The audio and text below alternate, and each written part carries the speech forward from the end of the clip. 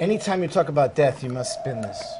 It prevents any kind of negativity from occurring. All right, tell me about the Ukiah incident. There I was, sitting with Shiloh in a rental car outside of a logging house. And I said, I think we can break in. I think we can get in there. Really? And so we did, but we didn't know if there were going to be guard dogs. But I have an affinity for running from guard dogs, so I was really kind of excited.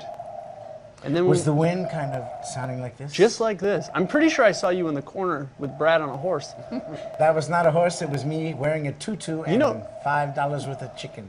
Okay, so we made it inside, and it was too dark to get any shots, but there was one spot that had a light on it. And that spot happened to be about 100 feet in the air. So I had to climb a redwood tree and go out on a branch while he had to jump over some sort of like a moat or a river. I don't know what was inside the water.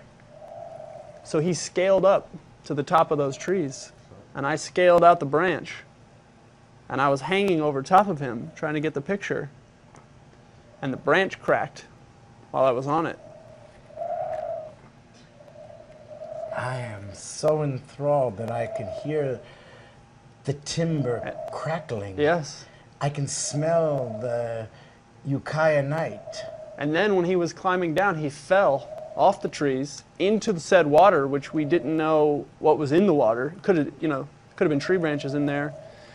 Fell completely inside it, all the way underneath, head to toe, in the water. It was about five feet deep.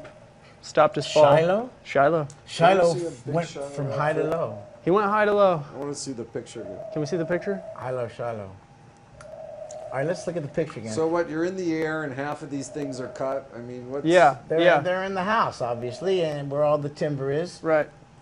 You're up top, Yep. and you haven't fallen yet. No, I didn't. I never fell. You, but the branch cracked. The branch did crack, and I, I thought I was going to fall. I would have fallen directly on him. And what happened when the cops came, or what happened? So then we uh, we got out of there, and um, as we were as we were hopping the fence back the other way, I saw a guy with the "fuck you" tattoo on his head.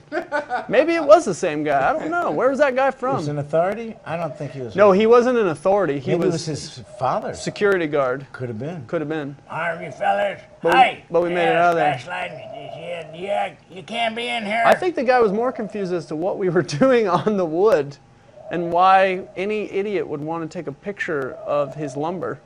Wood. It's a great shot. anyone? Thank you.